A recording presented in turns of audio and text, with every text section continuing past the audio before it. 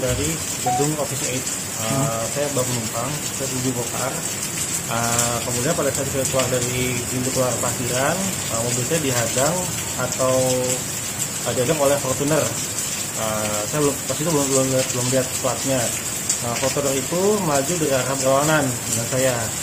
Saya dua kali ngedim tapi nggak mau minggir, kemudian baru hazard apa lampu keempat baru dia minggir, kemudian sambil membuka kaca melakukan kata kasar kepada saya, mengeluarkan jari tengah, dan kemudian uh, saya buka kaca dan mau menanyakan kenapa lawan arah, tapi yang pengemudi mengancam dengan apa siapa lo, apa lo, lu siapa.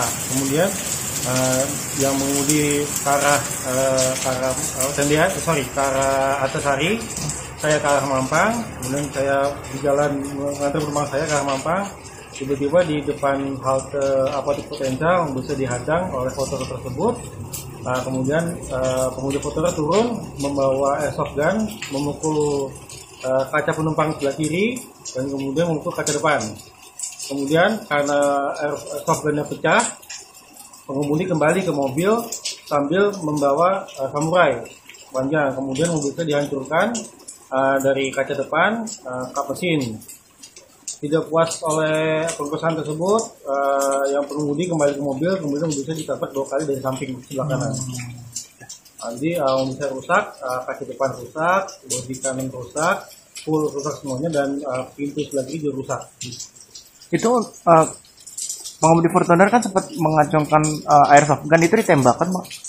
Uh, terkesan menembakkan karena dia mau buka, mau buka pintu sebelah kiri. Hmm. Gitu. Sempat ditembakkan nggak bang itu? Nah, enggak, itu enggak, itu enggak. Hanya di hanya ditodong Ya, begitu. cuman, ya? iya, betul. Oh, di, sempat berarti abang sempat ditodong pakai airsoft gun itu ya? Iya betul. Oh, Oke, terus uh, benda tajam lainnya kayak samurai itu di di di, di apa namanya diarahkan ke mobil abang begitu ya, bang? Betul, dia akan mobil saya dan langsung dihantam ke kaca depan dan ke kap mesin depan. Oh, berarti melakukan pengerusakan pakai samurai itu ya berarti bang? Betul. Oh, Oke. Kalau abang sendiri sempat ada mengalami luka-luka akibat senjata tajam atau itu? Uh, gun? puji Tuhan enggak, Uh, saya dan penumpang saya uh, aman di dalam mobil karena mobil saya kunci tinggal saya buka sama sekali. Oh, Oke. Itu untuk uh, apa namanya pengemudinya ini alasannya kenapa bang melakukan pengerusakan bang? Uh, kurang tahu mungkin mungkin dia kurang terima saya kasih lampu aja tersen empat kali karena memang posisi membayarkan saya karena saya uh, saya di jalur benar sementara pengemudi tersebut di jalur yang salah sementara dengan saya.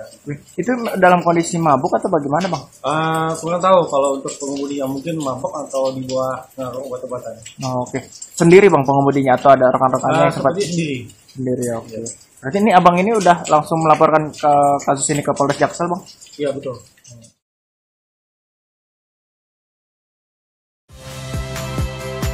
Saya Valentina Sitorus.